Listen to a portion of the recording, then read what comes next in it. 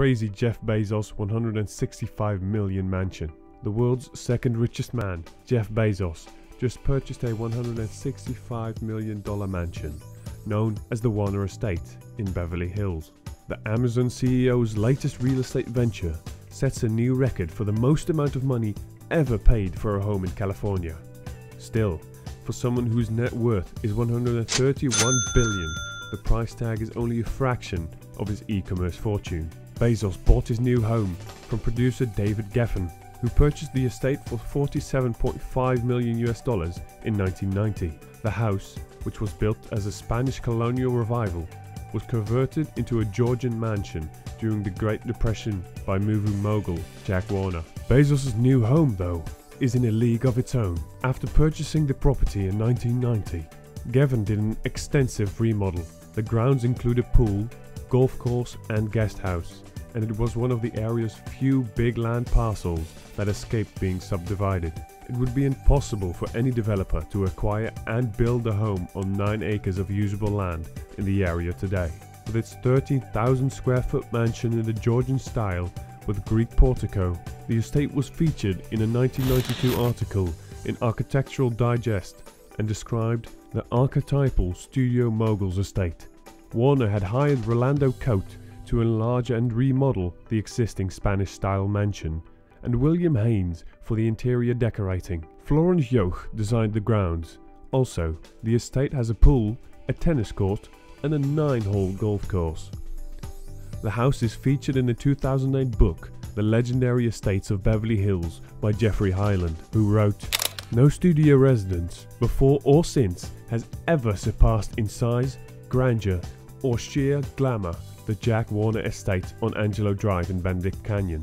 When Jeff Bezos purchased a Hollywood estate from David Geffen for $165 million, he got 9 acres of prime Los Angeles real estate, an enormous 1936 Georgian style mansion, and a whole lot of backstory.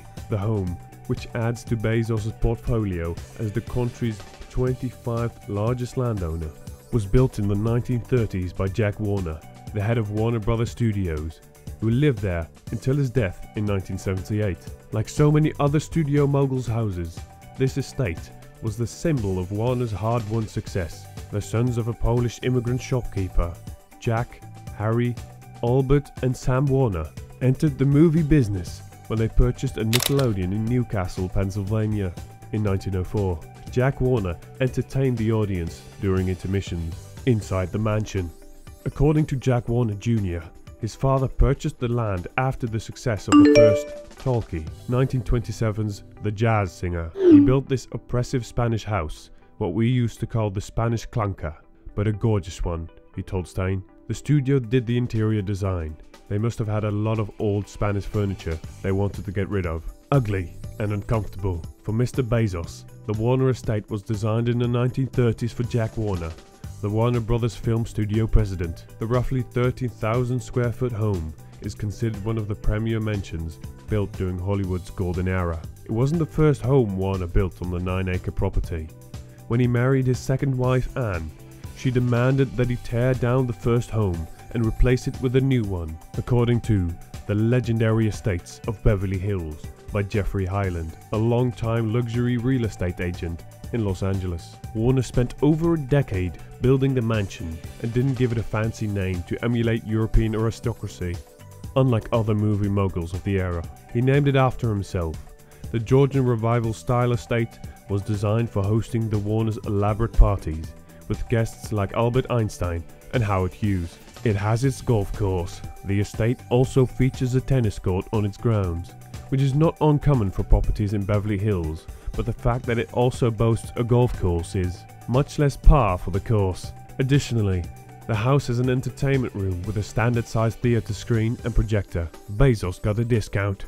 The Warner estate never officially hit the market, but one of the people familiar with the deal said it had been shopped around quietly for $225 million. The Warner estate, whose sale to Mr. Bezos was reported earlier by the Wall Street Journal, comes out from the speculatively built glass box homes that have flooded the local market. Listed in the 100 million plus range, have often taken years to sell or required steep price cuts. Everybody today would like to see classical architecture, Mr. Hyland said. They want substance. They want acreage. He said he and his business partner, Rick Hilton, had the most expensive current listing in the area, the 225 million Conrad Hilton estate, which is on 8.5 acres in Bel Air. Stephen Shapiro, an agent with the Westside Estate Agency in Beverly Hills, said that the Bezos purchase was likely to boost confidence in the market but that too many homes were still being built on speculation. The spec houses being built are equivalent to too many condos being built in New York, he said. The houses fetching record prices are one of a kind, bespoke houses. Other properties of Jeff. It's not his only purchase in the 90210 zip code. In 2007, he sold out 24.5 million for a Spanish-style estate on two acres in Beverly Hills. A decade later, he bought a 1950s house right next to it for $2.9 million. Bezos also owns homes in Seattle, Texas, and Washington, D.C.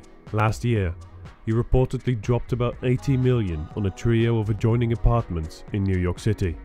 The 2019 land report, which identifies the country's 100 largest landowners, ranked him 25th. For Geffen, it's the most high-profile sale on record, but over the years, the movie and music mogul has bought and sold prized properties at the same rate that people change their oil. One of his biggest splashes came in 2017 when he sold his Malibu compound on Carbon Beach for $85 million. The property had been an ongoing issue for the 76 year old, who fought with the California Coastal Commission to block people from accessing the beach near the home. At one point, he even installed fake garage doors to discourage drivers from parking on the curb out front. A few months later, he unloaded another home in the beach community for a relatively modest 8 million. The following year, he made a move on the east coast, selling his Manhattan apartment for $24.5 million. He switched into buy mode in 2019, picking up Beverly Hills mid-century for $4.65 million and an empty acre nearby for 30 million. Many assume Geffen has big plans in store for the undeveloped land. Found in the ultra-exclusive enclave of Billionaires Row, it came with blueprints for a 24,500 square foot mansion with 7 bedrooms, 14 bathrooms and a 140 foot swimming pool. It's surrounded by some of the most valuable homes in the area including Minecraft creator Markus Persson's 70 million spec mansion and businessman Evan Metropoulos' 65 million trophy home. The $165 million sale marks the fifth time since 2016 that a new LA County Prize record has been set.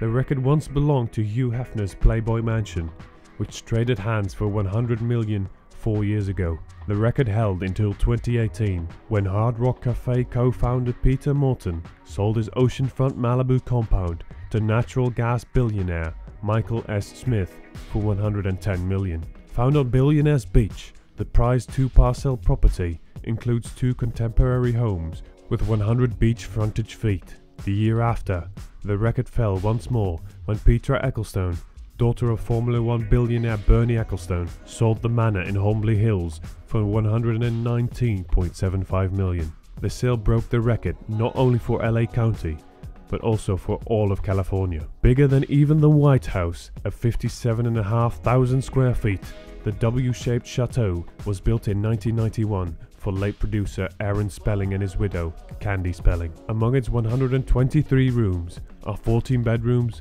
17 bathrooms, a barbershop, bowling alley, nightclub and French wine and cheese room with sidewalk cafe style tables and chairs. A few months later, a new mark was set in Bel Air when Murdoch, son of media mogul Rupert Murdoch, dropped the aforementioned 150 million on Chartwell, otherwise known as the Beverly Hillbillies Mansion. Here we've talked about everything you need to know about the world's richest billionaire properties, mainly the new one worth over 165 million US dollars. Which mansion sounds most appealing to you? Did we miss any? Let us know your opinions in the comment section down below. If you enjoyed this video, make sure to leave us a like, subscribe and turn on post notifications.